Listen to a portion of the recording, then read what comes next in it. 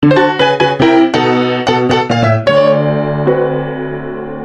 い、皆さんこんにちは。小山翔平ベースボールチャンネルです。今日も最後まで見ててください。お願いします。はい、このチャンネルはですね、元ジャイアンツの選手だった僕、小山翔平が、ジャイアンツ情報を中心に発信しているチャンネルになります。まだの方いらっしゃいましたら、ぜひチャンネル登録よろしくお願いします。はい、えー、今年中にですね、えー、チャンネル登録者数1万人を目指しておりますので、1000人違うよ。うん、1万人ね。うん、1万人目指しておりますので、ぜひ、まだの方いらっしゃいましたら、チャンネル登録よろしくお願いします。はい、そんな感じでね、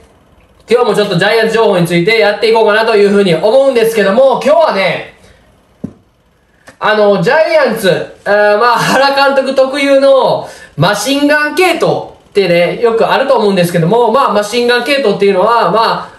まあ、その名の通りにね、あの、すごくこう、系統というか、えー、リリーフ陣を、こう、短いイニングでダーッと使っていくようなことを、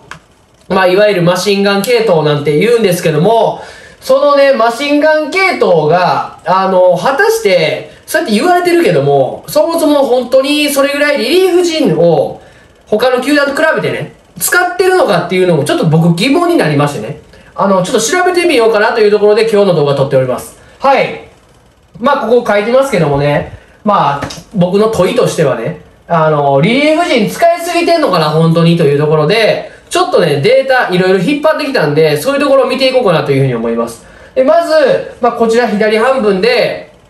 まあ、他の球団が先発どれぐらい投げてるのか。で、リリーフ、1試合にどれぐらい、えー、何人を、何人ぐらい使ってるのかっていうデータをちょっと見ていきます。で、右側では、えー、ジャイアンツのこれまでの月別にね、えー、先発陣とリリーフ陣の、えー、防御率の比較を見ていきながら、ちょっと今後どうなっていくんかというところをね、えー、まあ僕なりの視点で、えー、話していこうかなというふうに思いますんで、ぜひね、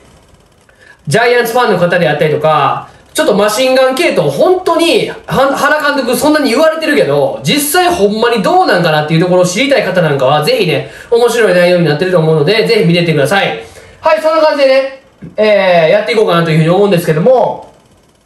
あのー、順位でね、今の阪神、えー、広島というふうに、順位順で、えー、先発の、えー、平均イニングを、えー、出しております。で、この横にはリリーフの平均起用の人数をここで出しておりますね。はい。で、まあこれ皆さん見てもらったらわかるんですけども、これで順位順なんですよ。で、これで先発のこの、えー、どれ1、1試合どれぐらいイニングを投げてるかというような、あの、数字になるんですけども、おおよそですね、上にいるチーム、上位のチームは先発陣が比較的やっぱりこう、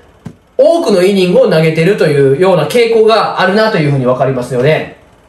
これ見てもらうと、阪神が今1位なんですけども、やっぱりその平均回数としても一番多いし、2位の広島は、えー、まあ2位だし、3位の広島、えー、DNA も、まあ5.96というところで、えー、まあセリーグの中で3番目のイニング数を先発投手は投げてるというところですね。で、えっ、と、まあ、ここはちょっとね、あの、僅差でちょっと、あの、誤差はあるんですけども、まあ、ジャイアンツも5.68ですね。先発陣が投げてます。で、中日に関しては5.70っていうところで、まあ結構投げてるんですけど、まあ最下位という結果になってますね。で、ヤクルトも5.32というところで、先発陣が一番こう、イニングを投げれてないのはヤクルトという風な、えー、指標になってます。じゃあ、この先発陣の指標分かったけど、今今日の肝心のね、テーマである、1試合どれぐらいの人数を、えー、救援陣というかね、リリーフ陣が投げてるのかという指標がこちらになるんですけども、これね、やっぱり、先発のイニング、先発投手が投げてるイニングが長ければ長いほど、まあ、必然的にね、リリーフ、えー、投手がね、えー、起用されてる回数っていうのは減りますよね。なんで、阪神がやっぱり先発一番投げてるんで、一番そのやっぱりこのリリーフの平均起用っていうところも少ない、少なくなってます。はい。で、えっ、ー、と、広島も、えー、2.97っていうところで、えー、非常に、あの、まあ少ないですよね。で、まあ下の3チーム見てもらうと、えー、ヤクルトは一番、えー、先発陣が短く降板してるにもかかわらず、3.28というところで、えー、なってます。はい。で、中日も5.70なんですけども、3.33ですね。で、これ問題が巨人なんですよ。えー、先発平均回数が5.68。えー、結構投げれてるにもかかわらず、このリリーフ平均起用が3.57なんですよ。えー、これ、そういう意味、意味を言いますと、1試合3.57人リリーフを使ってるよと。平均すると3.57人リリーフを使ってるよという意味なんですけども、これちなみに12球団で1位なんですよ。うん、1位。12球団全部見たんですけども、へ、そのリリーフの平均起用で言ったら1番なんですよ。それは、つまりどういうことかっていうと、一番リリーフ陣を出してる人数が多いよというところですね。はい。やっぱりね、リリーフ陣、僕が先ほど初め、冒頭に言いましたけども、リリーフ陣ほんまに使、使いすぎてんのかなっていう風な、えー、疑問というかね、問いを僕言いましたけども、やっぱり実際指標で見ても、数字で見ても、12球団で一番リリーフ陣を使ってるという、えー、結果になりました。はい。じゃあね、この夏場ですごく暑い中、えー、リリーフ陣を、えー、たくさん使ってるとどうなるかっていうところを、ちょっとまあデータも見ながら見ていこうかなというふうに思うんですけども、やはりね、この夏場、暑いですよね。で、えー、中継ぎのピッチャーっていうのは、投げない日でも、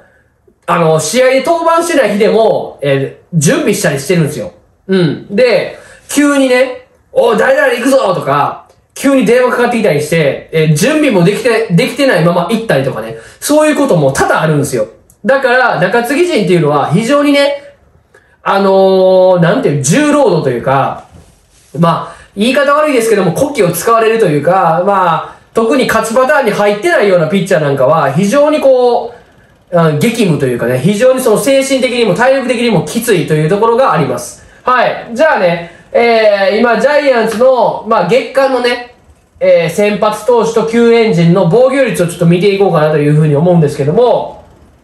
まあ、3月、4月は先発陣がちょっとね、えー、防御率高くて、救援陣はまだ3.35というところで粘ってたんですけども、問題はここなんですけども、まあ、5月ね、5月は先発2.96で、これ救援陣が6.14っていうところで、ね、ここでちょっとジャイアンツの救援陣というかね、まあ、あの、バグった時でしたね。あの、非常に良くなかった時。あのー、まあ、頭数がその程というか、中継ぎ誰投げてんねんっていうような時でしたね。で、6月に入ってくると、非常に安定し、してきたんですよ。うん。3.35、先発3.35、えー、3.53か3.53、えー、救援時2.36というところで安定してきました。で、この間、先月も、えー、まあ、先発陣3.34、えー、救援陣3.47というところで、まあ、比較的安定してたかなというふうに思います。で、あの、問題は今月なんですけども、まあ、今月なんでまだ数試合しかやってないというところもありますけども、まあ、8月ね、先発陣1.2の、29、えー、救援陣2.45というところなんですけども、まだ今はね、あの、数試合しかやってないし、この間も、東郷が完封したりなんかしてましたんで、非常にその、救援陣がまだ投げてるっていう回数が少ないので、まあこういうデータになってますけども、非常にね、この夏場、特にね、今月8月っていうのは、ジャイアンツは、えー、6連戦、6連戦だらだらけなんですよ。全部 6, 連6連戦なんですよ。っていうところで、できればね、この暑い猛暑の中、記録的猛暑の中、やはりこう、やっぱりちょっとでもね、体力を温存して投げる回数を少なくしていきたい。リリーフ陣を少なく、えー、使いたいっていうのは、絶対あのー、もう、なんていうの、常識というかね、まあ、普通に考えても他の球団でもそう考えてるし、野球の分かってない方でも、おそらくそう考えると思うんですよ。それはもう、あの、確実に合ってることなんですけども、今のジャイアンツのやっぱり原監督の采配なんかを見てると、えー、まあ先月もありましたけども、2イニングで4人か5人かな、えー、リリーフ陣を使ったりとか、まあ昨日もそうですけども、あの、非常にこう短期間で短いイニングでこう、あの、使ったりとかするので、非常にね、その、あの、リリーフ陣に対してのその、あの、疲労が大きいと思うんですよ。まあ今数試合しかやってないんで、まだその疲労はね、まだましかもしれないんですけども、こっからね、まあ今日も松田でしょ。で、こっからずっと6連戦か、あの、続くと考えるとね、うん、まあ大戦もまだいないですし、その、その中継ぎ陣のその質というか、そのレベルというところも見ても、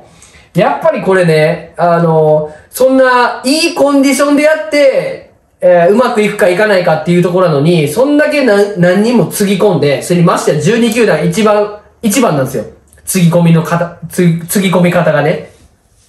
そんなことをしてるとね、やっぱりね、僕ね、まだ、あの、試合が少ないからこういう成績になってますけども、もしかしたら、あの、8月ね、あの、爆発して、誰かのこう、怪我が来たりとか、あのもう、救援陣がもうバテて、もう、なんかこう、ボコ打ち食らったりとかして、チーム全体のその、なんて言うんだろう、うん、バランスが崩れてしまうというかね、今まだ首の皮一枚で、マシンガン系統に対しても、なんとかまだやりくりできてる、ギリできてる